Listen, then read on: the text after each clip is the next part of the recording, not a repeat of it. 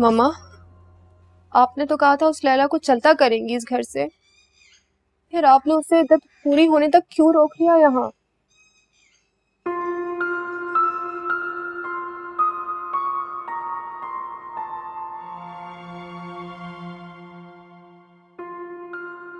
मैंने अपने बेटे को ज़रूर गंवाया है। मैं अपने बेटे के गम से निढाल ज़रूर हुई हूँ। लेकिन अपने होश नहीं गंवाए मैंने। आप कहना क्या चाह रही हैं? मुझे समझ नहीं आ रहा। अगर वो लड़की अपने मैके चली गई तो उस मरी हुई चूंटी के पर निकल आएँगे।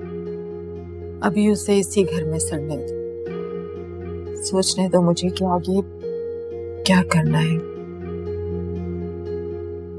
जो लड़की मेरे बेटे की ज़िंदगी के साथी नहीं बन सकी तो ये कैसे हो सकता है कि मैं उसे उसकी जायदाद की मालकिन बना दूँ? ऐसा कभी नहीं होने दूँगी। मुझे गौर करने दो अभी इस मामले पर। लेकिन मम्मा मैं जब भी उस टाइम को देखती हूँ, मेरा खून खोलता है।